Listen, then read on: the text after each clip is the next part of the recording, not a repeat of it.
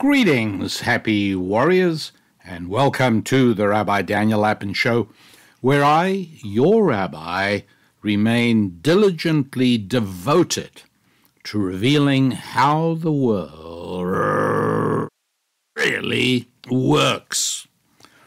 And perhaps no better place to start than is by recalling COVID. Everybody remembers COVID. But what you may not know is that many are even eager to relive it. Various self anointed experts are pushing for wearing of masks.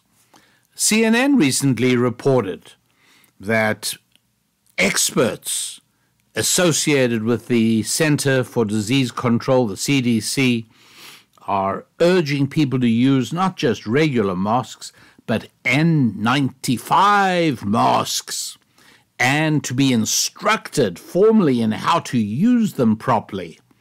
And this is now late summer 2023.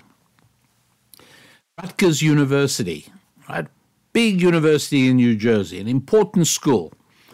Rutgers, along with about a hundred schools, are requiring students who's starting the new semester now to be vaccinated and to get updated boosters and to wear masks inside the school. Now, I have to ask you a simple question. Is this, do you believe, because of a resurgence of the biological virus?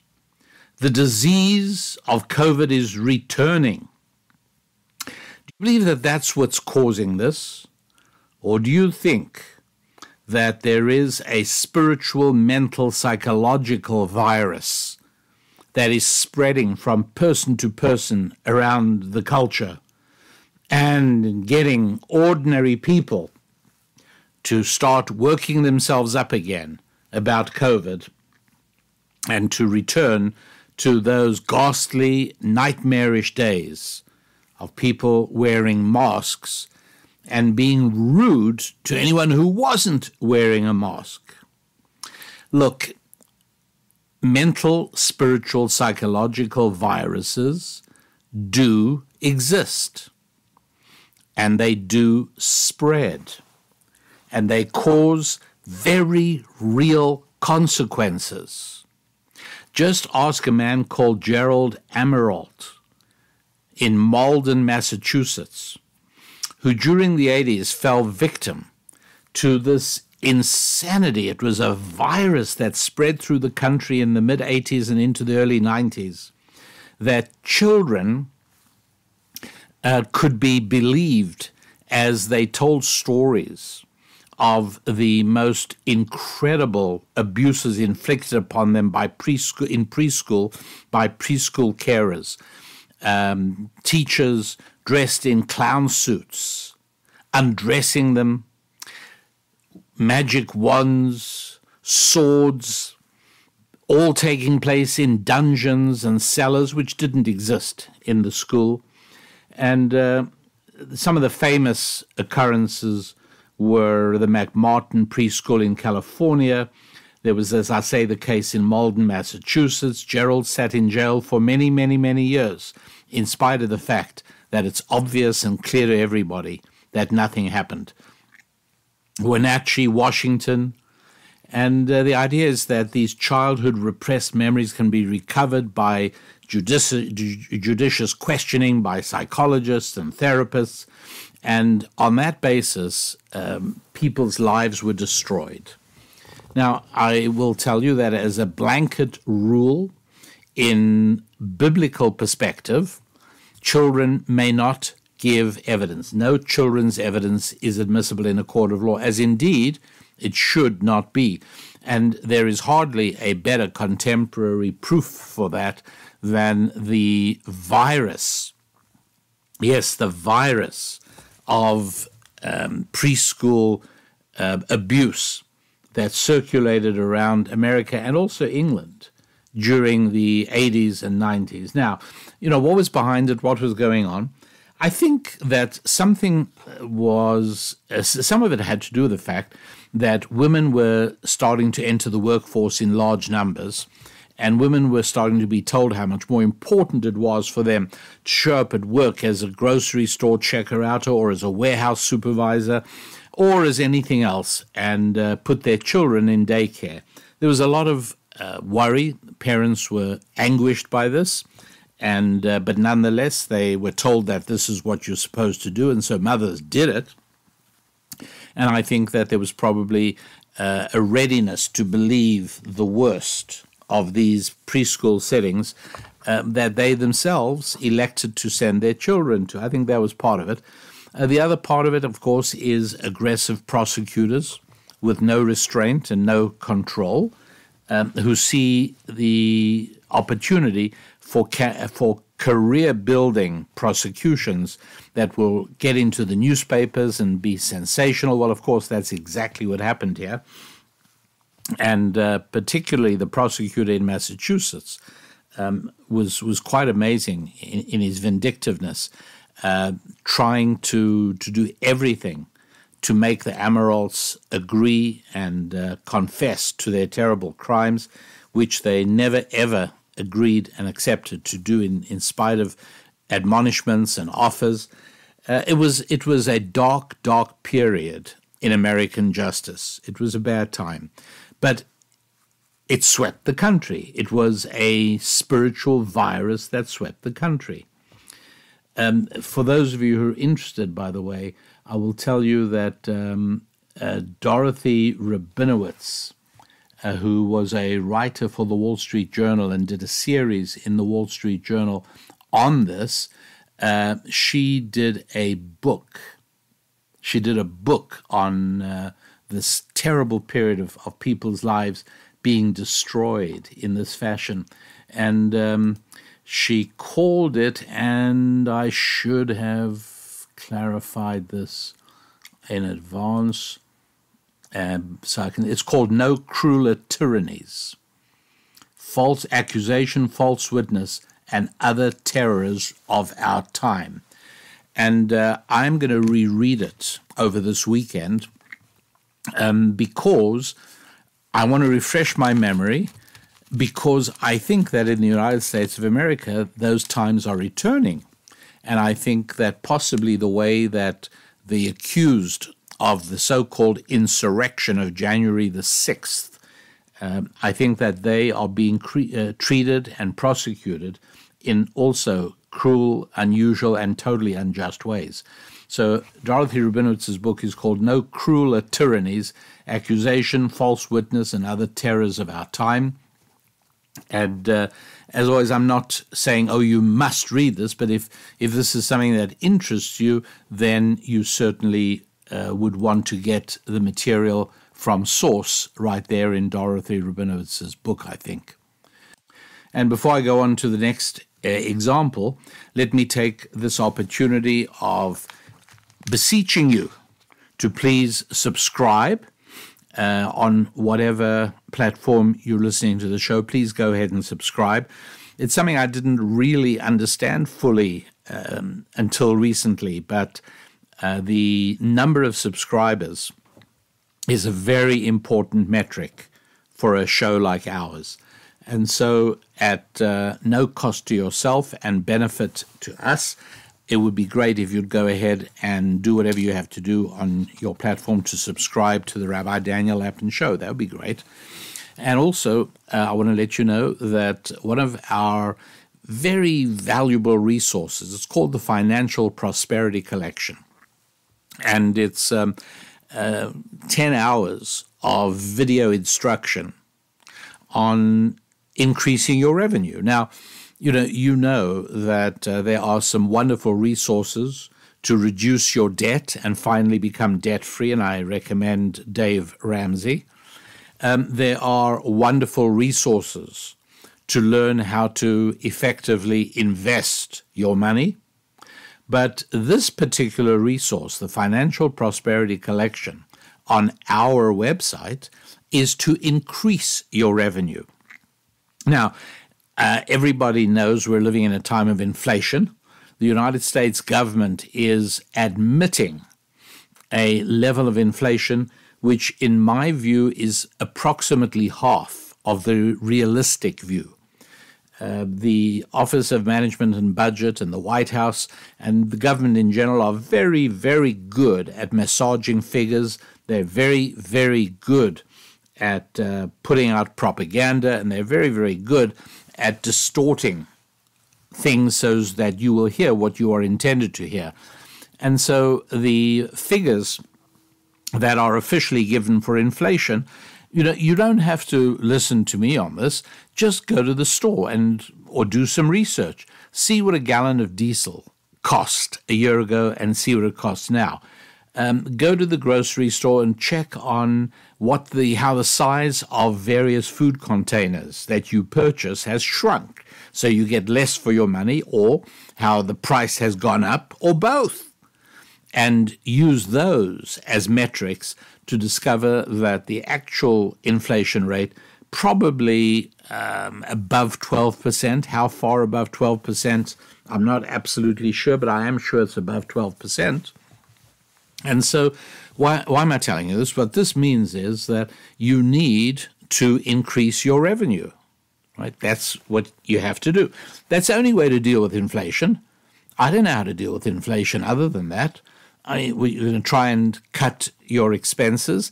You probably are not uh, outrageously spendthrift to begin with. You're probably reasonably frugal to begin with. And so there's a limit. I mean, are you really able to reduce your living expenses by 13%? I don't think so. You know, look, uh, in an emergency, everything's possible. But, you know, without making uh, yourself unhappy about this, I think that would be very, very difficult. I don't think it would be easy to reduce your living expenses by 13%. Rather than that, increase your revenue by 13%. Um, increase the revenue in your business. Start a business. Learn how to get a raise, an increase in your salary. All of these things are aspects of increasing your revenue that I cover in the Financial Prosperity Collection. So you go to the website, rabbidaniellapin.com, and uh, you look for the online resources. The Financial Prosperity Collection is a very important one and a very popular one, extremely popular, uh, for precisely this reason. And it is the most effective way of dealing with inflation is to increase your revenue increase the amount of money you bring into your bank account every month. And if you can increase your revenue by 13 or 14%, and yes, you can, then inflation becomes relatively painless. Then you've, you've, you've caught up, you've made up. Now, if you are working for a job where there are automatic pay increases, uh, you know, that's, that's terrific. But not everybody has that. And so some people have to get a second side gig. Some people have to uh, increase the revenue in the small business they're operating already. Uh, people have to get a second job, but there are all kinds of different ways to use your time most effectively for the purpose of increasing your revenue. So go ahead to the website rabbidaniellapin.com and uh, look into the Financial Prosperity Collection. I don't believe that you will regret that. So, um, talking about spiritual viruses, okay, we all know what a biological virus is. We, we went through that with COVID. But spiritual viruses are more subtle, but just as contagious and just as dangerous when they do strike. Um, another example is that in 1942, the and again, 1942, you've got to remember that the army, the German Wehrmacht, has taken a terrible beating already in the winter of 41 and 42, uh, where on the Eastern Front, the siege of Stalingrad and the arrival of the Russian winter, and uh, the, the Wehrmacht has lost uh, perhaps 2 million men between uh, deaths and debilitation. I mean, the debilitation was so severe that uh, men came back to Germany from the Eastern Front. And Hitler's main concern was to prevent demoralization of the citizens of the Third Reich because they didn't want them to see these soldiers. These soldiers came back. Many of them came back, and this is just horrifying to even imagine, but their eyelids were frozen off because see, any bodily extremity, fingers, toes, um, eyelids, and also male organs, uh, get literally destroyed by the cold that these poor men suffered at uh, the siege of Stalingrad. So um, you got a shortage of German soldiers, but meanwhile, one of the prime tasks of the Nazi Party was the elimination of Jews. The uh, roundup and uh, placing in concentration camps and the methodical massacring of uh, millions of Jews, that above all had to continue. And so uh, the uh, Nazi Party rounded up a battalion. This was the first they tried. It was called Reserve Police Battalion 101 of the German Order Police. And what they did is they took ordinary middle aged German men who would not be able to serve in the regular Wehrmacht, they they've aged out of that, and they put them in this reserve police battalion number 101, and they made them responsible for mass shootings and roundups of Jewish people and deportation to the death camps in Poland.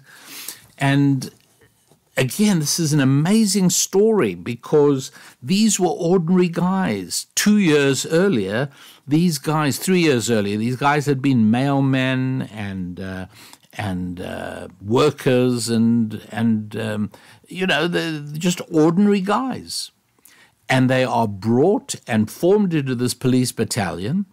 And even though, and there's a book called Ordinary Men, and in Ordinary Men, they describe how, as this battalion was formed, they went off to do their first roundup of Jews. And um, the commander said to the men, "Look, if some of you are squeamish about this, you can you don't have you can stay sit out this one, and the rest of us are going to go in and uh, collect these enemies of the Reich and uh, kill them." And very few men opted out. Some did, but only the first time. The next time they went on with it, and this is just an extraordinary thing. How do you get ordinary middle class guys who, you know, three years ago were sitting around playing darts in a pub, in a, in a beer cellar somewhere in Germany, and doing their jobs, or whatever their day to day jobs were. And today, you're able to get them to point a gun at the head of another human being for no reason at all and shoot them on the command of an officer. This is amazing stuff. The susceptibility of people to authority is part of this virus. And, uh, you know, back going back to the 80s again, the time of the uh, preschool uh, prosecutions, there was a slogan that university students used to uh, proudly proclaim. They put it on their bumper stickers and on their jackets and on their caps. Question authority some you know some of if some of you lived through that period you'll remember the phrase question authority was a big phrase every it was out there you know young people heralded their youth and their freshness and their vitality and their um, uh, rebelliousness by question authority. That's you know not that long ago. 35 years ago? How long is that? And, you know just a little more than a generation has gone by. And now the position of university students is accept authority. And so, whether it's masks and uh, and uh, vaccinations, and whether it is um, speech codes and political correctness, the imposition of authoritarian rule on America's university campuses is quite extraordinary. Again, a spiritual virus when the person or the people you associate with become infected, they infect you too. All of us are. And so I want to give you perhaps the very best example of uh, contemporary spiritual virus that is every bit as impactful as the spiritual virus that made people decide that little children spinning fantastic yarns about their teachers dressing up and coming in on horses, these little children could be believed. And uh, the spiritual virus that made ordinary men in Nazi Germany become murderers, and the, um, the, the, the, spiritual virus that uh, makes university students behave the way they do. Well, here's a really good example, something we have going on right now. Have you noticed that the general culture in the United States of America is a culture of shortage? Now, I wrote about this recently.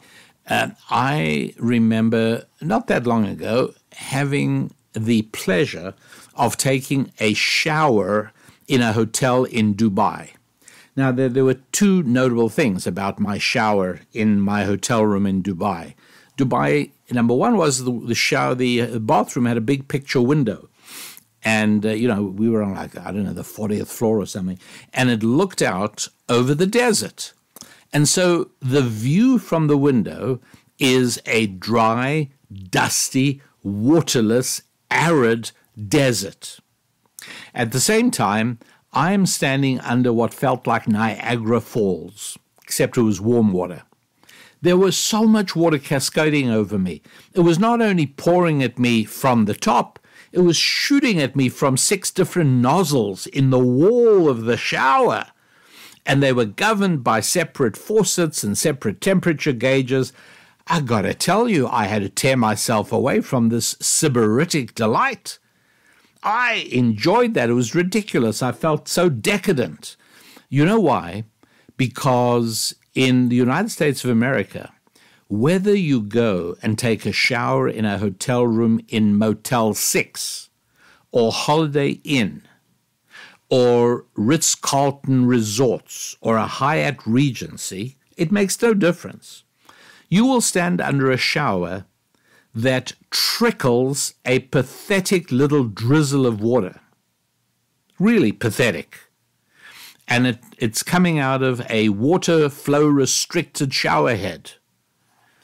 Why? Because we're short of water. We're short of oil. Everybody knows that, right? We're, we're running out of oil. We're even running out of space because you'll hear people panicking. There are too many human beings. The population is too big. They say that except when it comes to discussions about immigration. I don't know if you've noticed. Um, tens of thousands of immigrants pouring across America's southern border every month. And there's plenty of space, apparently. But otherwise, we have to really reduce the number of people because there's no space.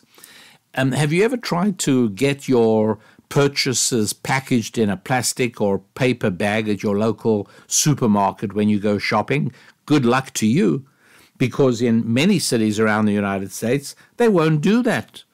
Therefore, all intents and purposes, there's a shortage of paper bags, there's a shortage of plastic bags.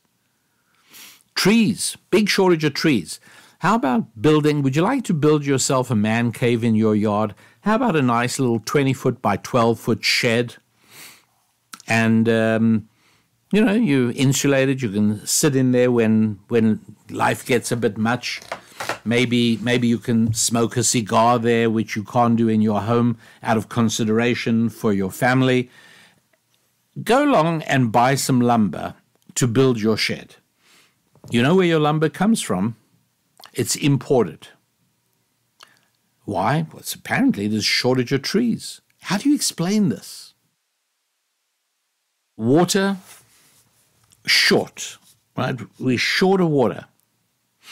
Many, many uh, cities around the country have literal water shortages. You, you're prohibited from washing your car or watering your lawn. They're short of water. Really. Electricity. Have you noticed? We're short of electricity.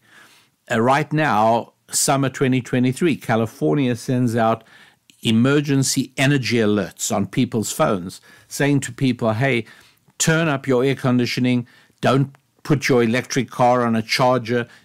cut down on your usage of electricity. Otherwise, we're going to have to have some blackouts and you'll get no electricity at all.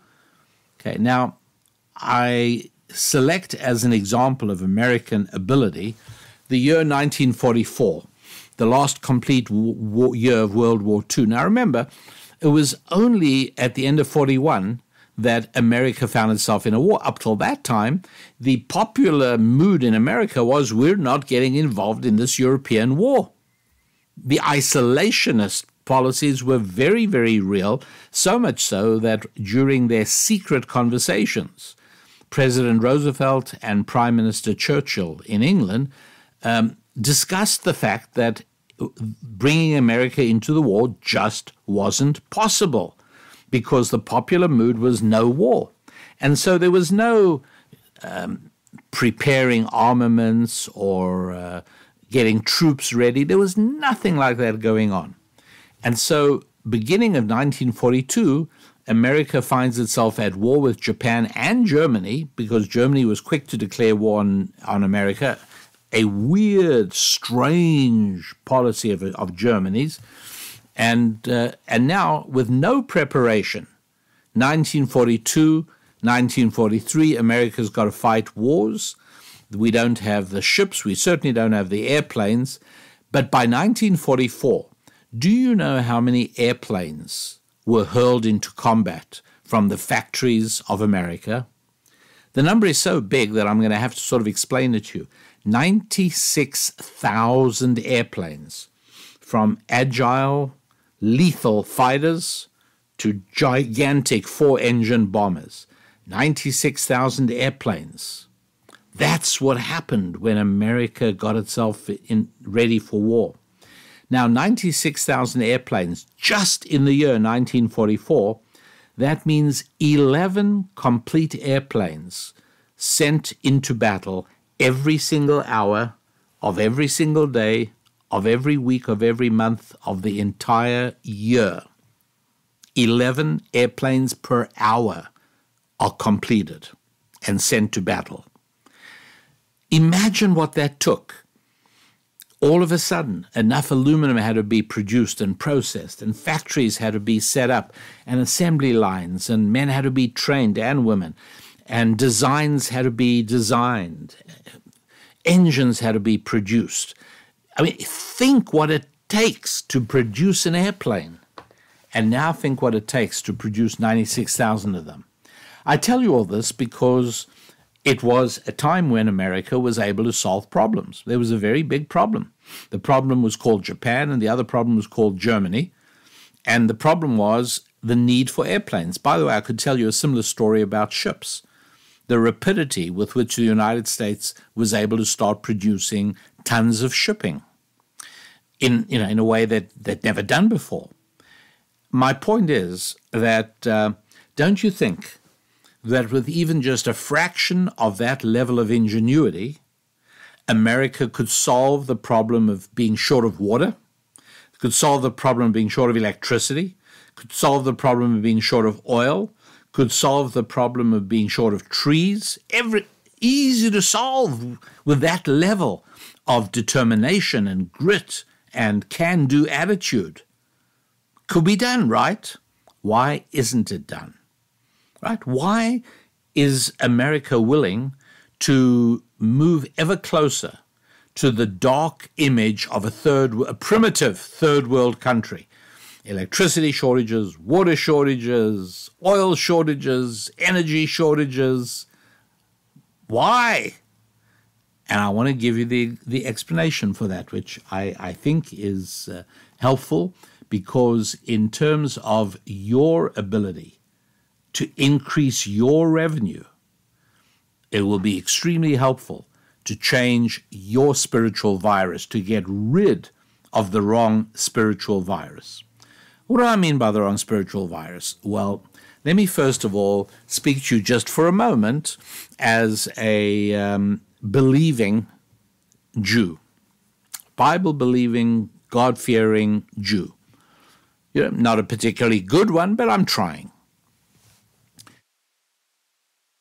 My faith and and that of Bible believing Christian brethren Jews and Christians all believe in a God of incredible abundance. It stands to sense, right? God is limitless by definition, and if God is limitless, then He's a God of abundance, and there's not a problem. He He's got as He can give you as much of anything as He wishes, because there are no limits. And so I live in a world created by a God of abundance. And therefore, I do not see limits. I do not see limits in what I can or should be earning. I do not see limits in what can or should be the size of my family. I don't see limits in anything at all. Right? I, mean, I may decide there may be some areas of limits, but I don't see externally imposed limits because I'm a child of a loving and abundant God. I believe that with every microscopic morsel of my being. And so, for that reason, whenever I experience evidence of abundance, I get a palpable thrill running through me. I get an almost irrepressible surge of sheer joy. Let me tell you what I mean.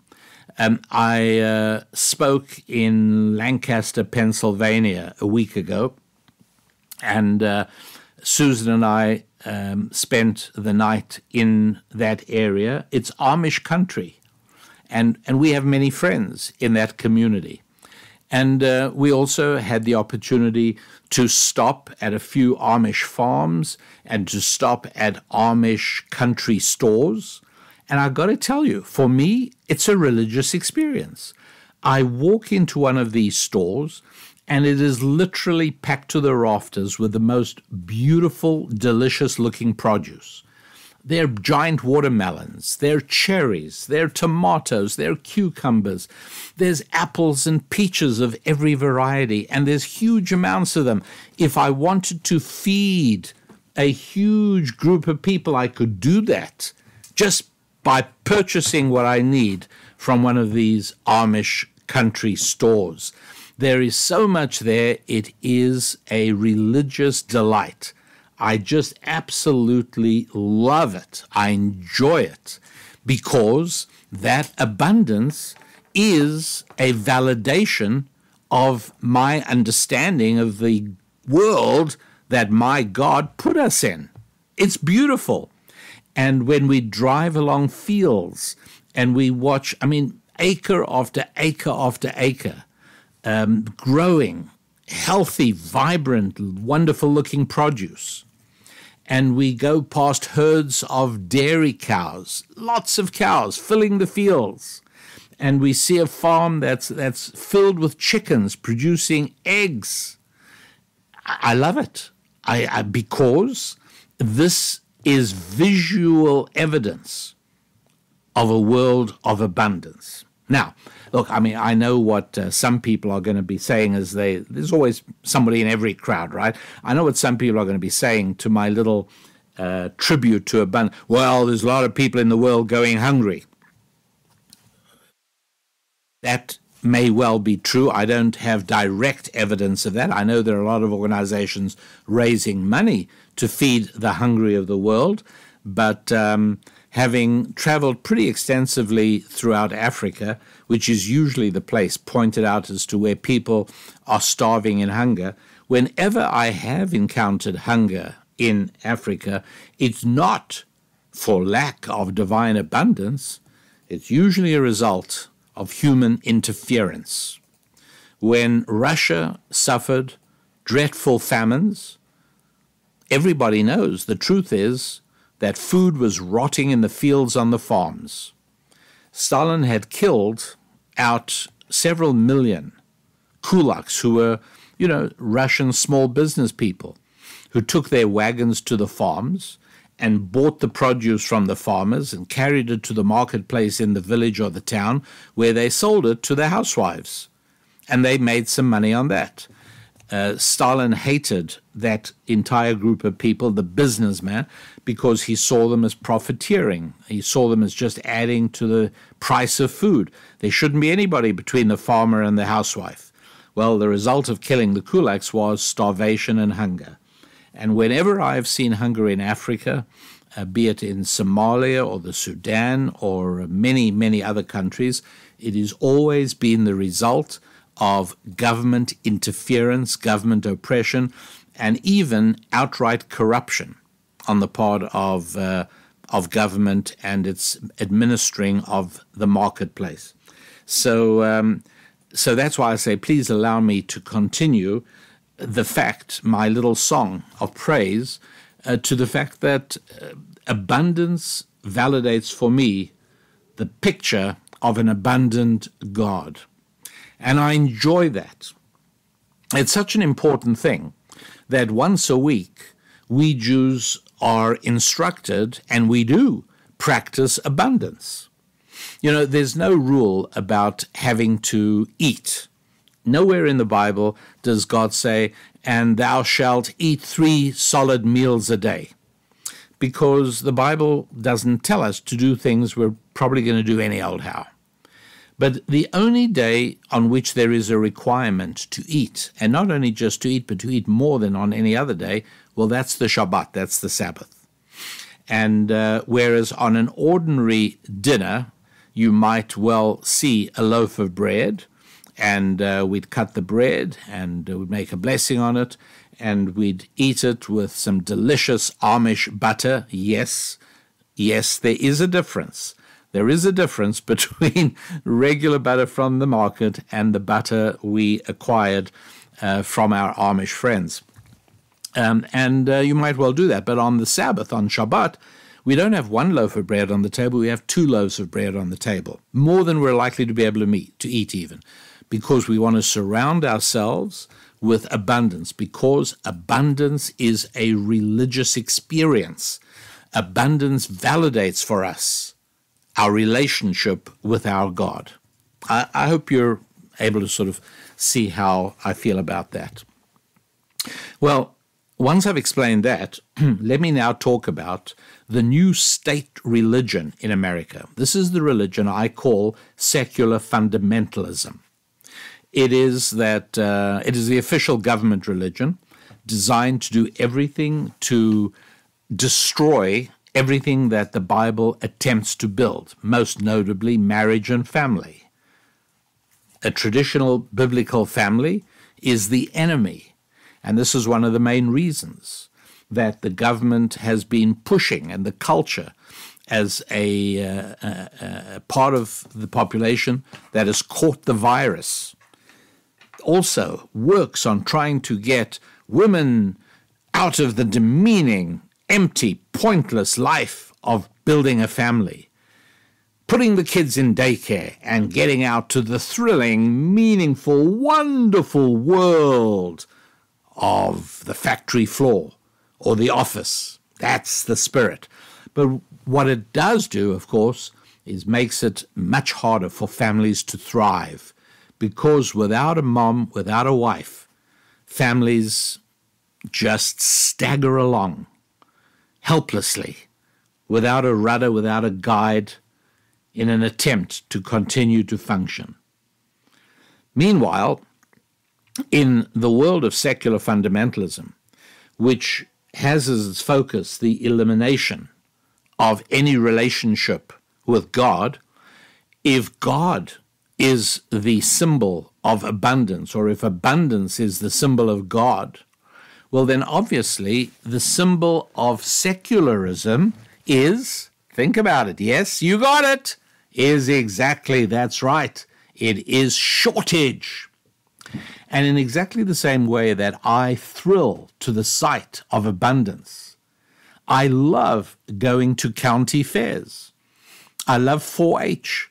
I enjoy those things because you come there and you see herds of fat cows and you see uh, displays, grange displays. I love going to these fairs because farmers bring in their produce and you get to see what they're growing and what's there. It's thrilling, it's abundant, it's a religious nirvana for me.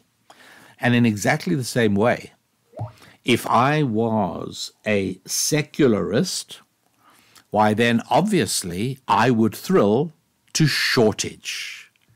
In exactly the way I find abundance affirming my faith, so it is that secular fundamentalists see shortage as affirming their faith. That's right, they do. That's exactly the point. And so, could the United States of America solve the water shortage? Of course. Could they solve the electrical shortage? Of course. Could they solve the energy and oil shortage? Yeah. Could they solve the wood shortage? Of course. They don't want to because it would violate their subconscious spiritual theology. Shortage validates their deep commitment to secularism. Shortage for them is as wonderful as abundance is to me. That is the point of today's Rabbi Daniel Lapin show. And so I urge you, this is one of the reasons that I don't just speak of finance and family and friendship and fitness. I speak of finance and friendship and family and fitness and faith because abundance is a function of faith. Secularism brings shortage. Whether it's secularism in Cuba or the Soviet Union, secularism always brings faith. What about China, you ask? I've spoken about that in the past and I will again in the future. But it's not an accident that there are more fervent Christians in China than there are members of the Chinese Communist Party. What is more, it is not an accident that in some weird way, China is not stamping out Christianity. They are trying to stamp out Islam, there's no question about that, but they're not trying to stamp out Christianity. Do you know why? Because they know what you know and what I know, and that is Judeo Christian Bible based faith is the faith that produces abundance, abundance in every way, abundant family and abundant finances, and abundant farms and growth and produce. Yes, there is a very strong connection. And so I urge you all, each and every one of you happy warriors, do your best to eliminate the culture of shortage. Um, I mean, I hate the whole recycling uh, religion. I hate it because I know that it has no economic value. I know that most cities, although they go for the separate collection, the recycler truck comes around and the garbage truck comes around, they all get put in exactly the same place afterwards. Don't trust me, trust the New York Times on that. Yes, of all places, the New York Times ran a story of how. Uh, most major cities just toss all the recycling and the garbage together. It is far too expensive and pointless to try and extract uh, the occasional aluminum can and far less expensive to produce aluminum from scratch.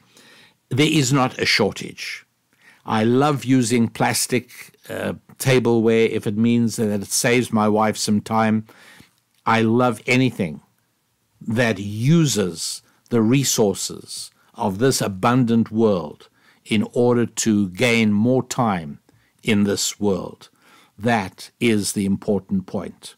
And so, each of you happy warriors, you got to work hard to try and get rid of the virus of shortage in your life. Believe me, we are all susceptible to propaganda. We are all susceptible to indoctrination. You don't believe me? Talk to the advertising industry. Think about that the billions of dollars that rational, thoughtful, profit minded companies spend on advertising, they wouldn't do. It would be a complete waste if you and I were not in any way at all impacted by advertising. Yes, we are. We are impacted by advertising and we are impacted by the spiritual messages beamed at us by the culture. And of all the messages beamed to us by the culture, one of the most insidious and dangerous, one of the most contagious, so easy to spread, and so destructive, and so dangerous and damaging is the virus of shortage. Work on getting that totally out of your soul. And there are practical things you can do. Try and get it out of your soul. Try and embrace the idea of abundance. There's plenty out there, there really is. Now, you yourself may be feeling you don't have plenty, but to some extent, that is because you have been infected by the virus of shortage.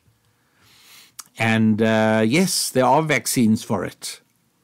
As you can think about everything I've spoken about today, and it will all become even clearer than it should be already now.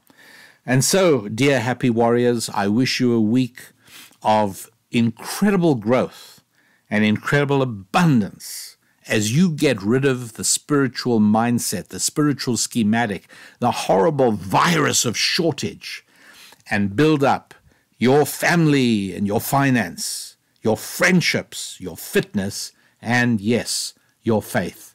I'm Rabbi Daniel Lapin. God bless.